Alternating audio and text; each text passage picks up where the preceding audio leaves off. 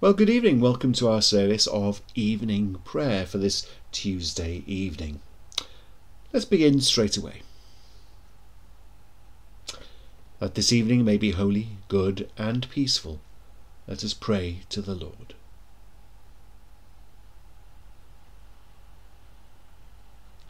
As our evening prayer rises before you, O God, so may your mercy come down upon us to cleanse our hearts and set us free to sing your praise, now and forever.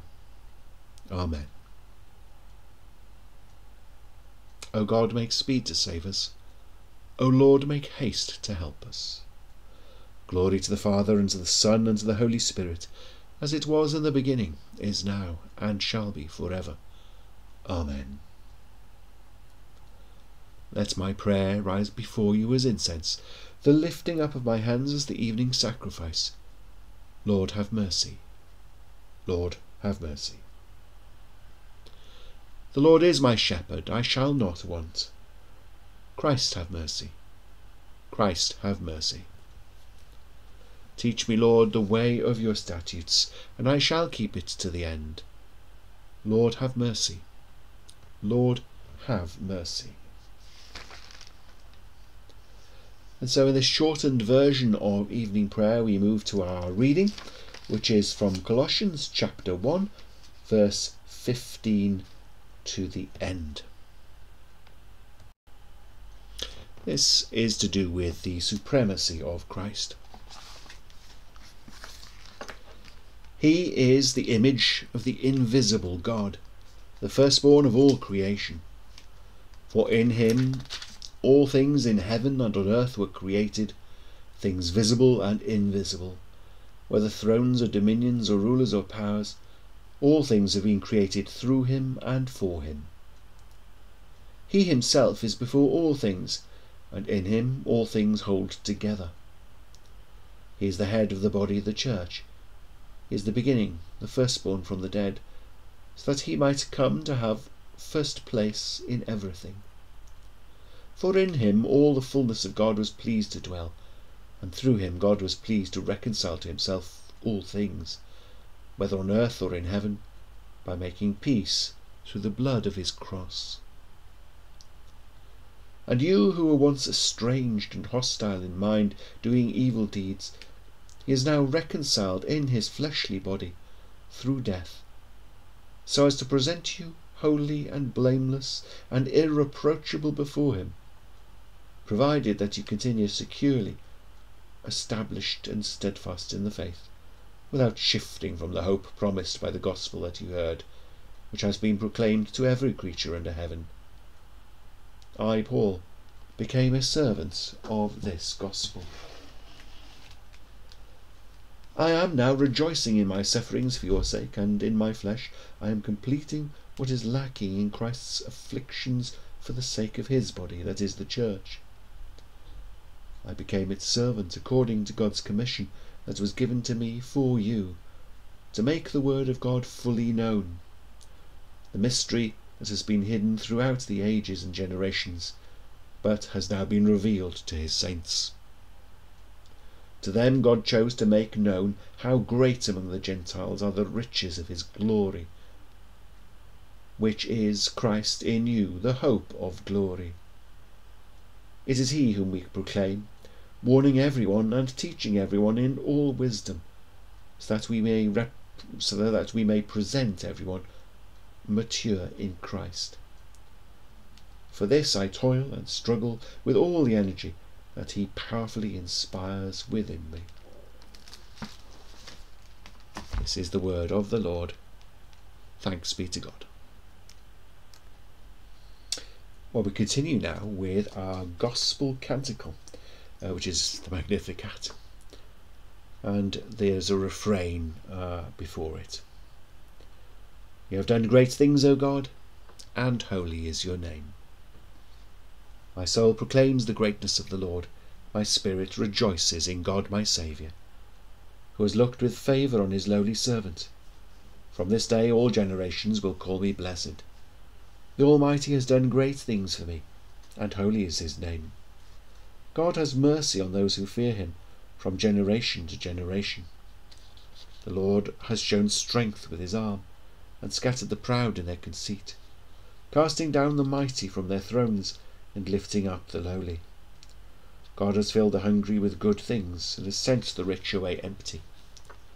He has come to the aid of his servant Israel, to remember his promise of mercy, promise made to our forebears, to Abraham and his children forever.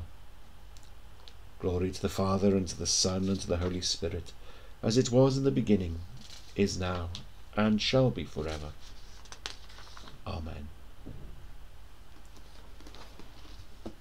And so we take a few moments of silence to reflect on the day which has passed and what is to come.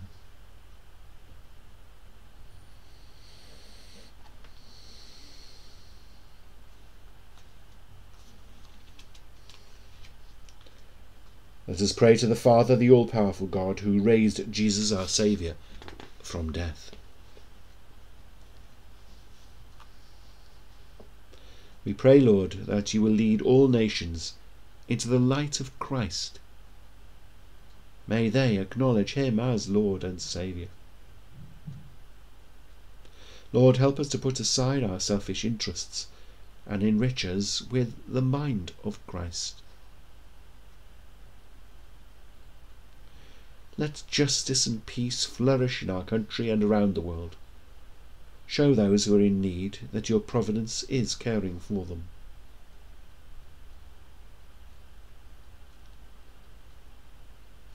Father of the poor and lowly, we pray to those whom the world forgets.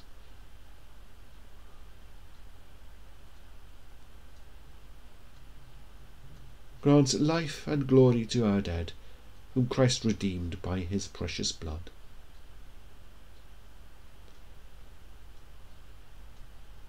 In your love, O Lord, answer our humble prayer. Guide us with your grace to see what we have to do and strengthen us with a will to do it. We ask this through Jesus Christ our Lord. Amen. Just take a few moments of silent prayer and reflection.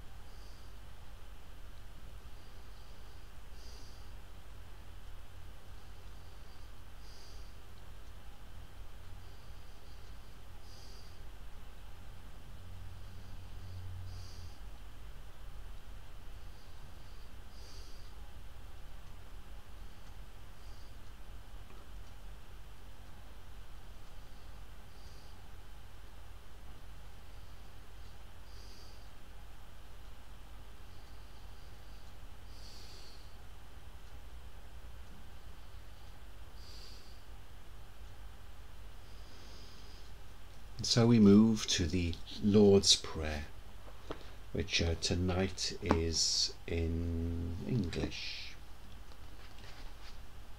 Our Father, who art in heaven, hallowed be thy name. Thy kingdom come, thy will be done, on earth as it is in heaven. Give us this day our daily bread, and forgive us our trespasses, as we forgive those who trespass against us and lead us not into temptation, but deliver us from evil. For thine is the kingdom, the power, and the glory, for ever and ever. Amen. Eternal God, source of all holy desires, all good counsels, and all just works. Give your servants that peace which the world cannot give, that we may willingly obey your commandments, and that, free from the fear of our enemies, we may pass our time in rest and quietness. Through Jesus Christ our Lord. Amen. Lighten our darkness, Lord, we pray, and by your great mercy defend us from all perils and dangers of this night, for the love of your only Son, our Saviour Jesus Christ. Amen. Grosin hergledd Iesu Grist a chariad Dyw a chymdeithas yr ysbryd lan, byddwch hefyd ni nawr ac yn oesoesoedd. Amen. And the grace of our Lord Jesus Christ, the love of God, and the fellowship of the Holy Spirit be with us all evermore. Amen. It was lovely spending these moments with you uh, at the end of the uh, working day for most people. Um, I'll look forward to seeing you again very soon.